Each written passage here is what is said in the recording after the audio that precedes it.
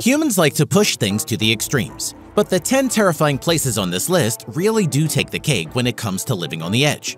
From sub-zero conditions to war zones and even huge graveyards, these are some of the scariest and most extreme places to live in the entire world.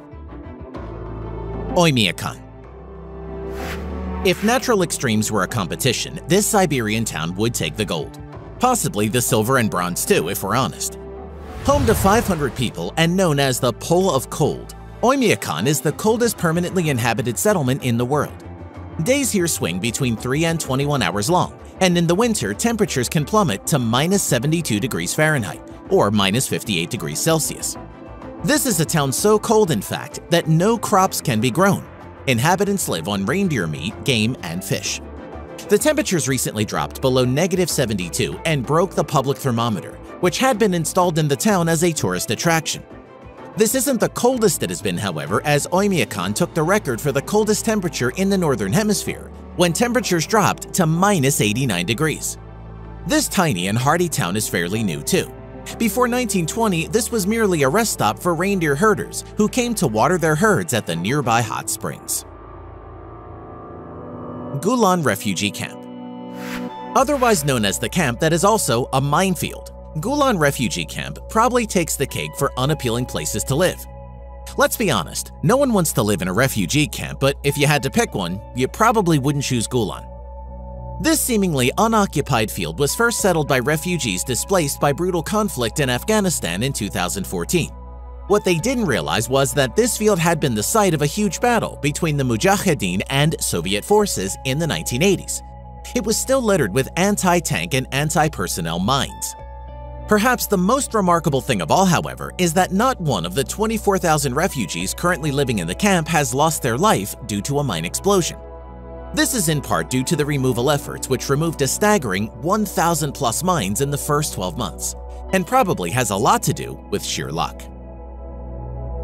Zabaleen There are few places in the world which are truly outside of the law, but Zabaleen in Cairo, Egypt may well be one of them. Sometimes called Trash Town, Zabaleen is mainly populated by Coptic Christians, who are a minority in Cairo. This is a city of trash collectors, literally. The people of Zabaleen make their money by collecting and sorting refuse from all over the city of Cairo. They salvage and sell what they can, feed organic material to their pigs, which also provide a source of income and sustenance, and collect a fee from the city for doing so. While life is hard in Zabaleen, with many children starting to work with their families at 10 to 12 years of age, it has gotten slightly better as of late. For a start, the attempted privatization of the city's refuse collection, which began in 2004, has ended, and the Zabaleen now have their livelihood back. Secondly, many collectors in Zabaleen are now being officially recognized. So while life in Cairo's trash town is definitely hard, it's nowhere near as terrifying as it used to be the City of the Dead. If we told you that there are people who literally live in a graveyard, you would probably tell us to pull your other leg, right? Well, believe it or not, it's true. Over half a million people now live in a 7th century necropolis just outside of Cairo, Egypt. At first, residents moved into Cairo necropolis, Karafa el Arafa, in the 1960s because rapid industrialization caused mass migration into Cairo at this point, the city was ill-equipped to deal with the influx, and so people made do. The population of the necropolis jumped once again in 1992, when a huge earthquake caused damage and forced many people to move into family tombs. Living conditions are better now than they were in previous years. The city now has shops, schools, and electricity thanks to a nearby mosque.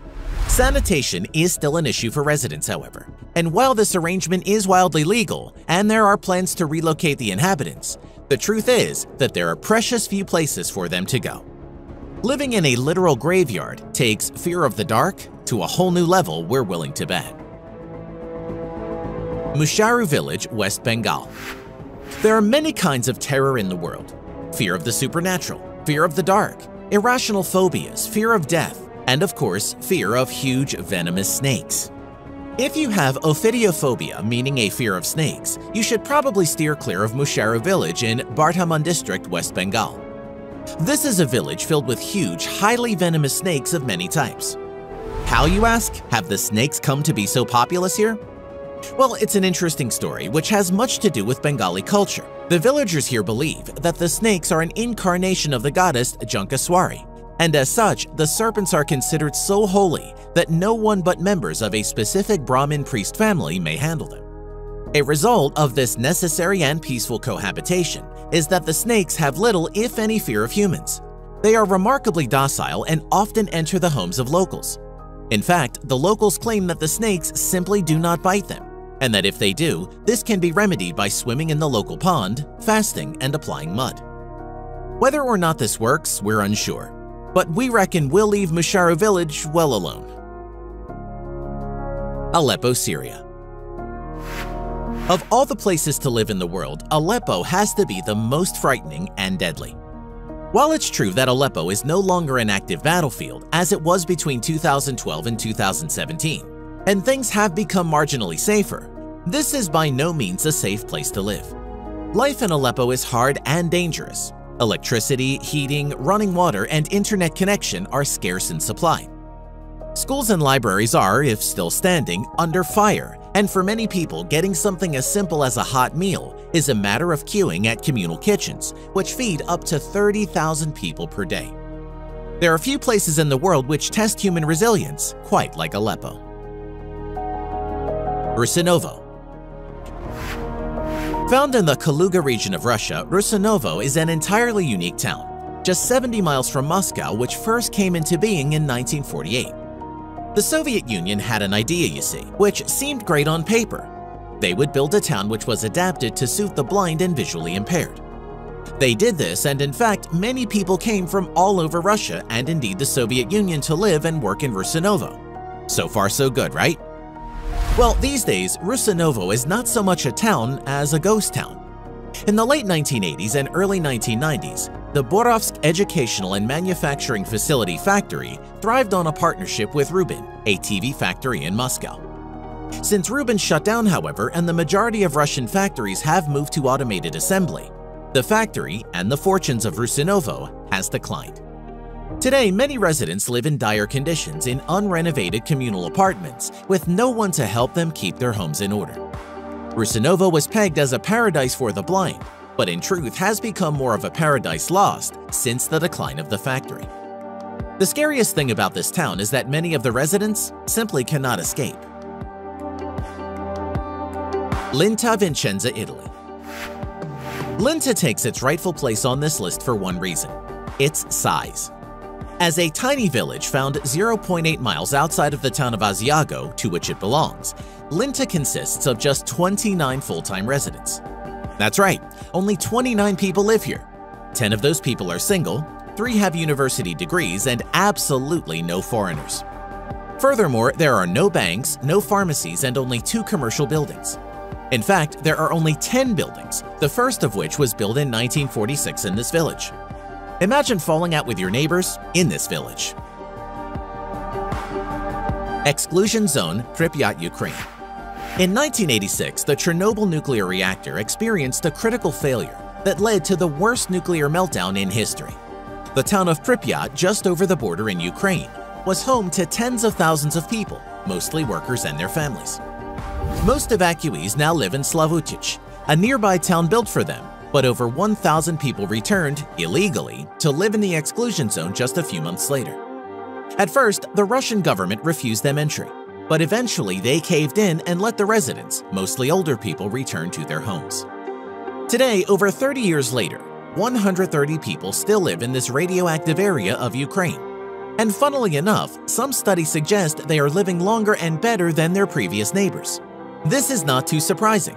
After all, if you discount the radiation and free-roaming bears and wolves. Life in Pripyat has to be full of fresh air and exercise, right?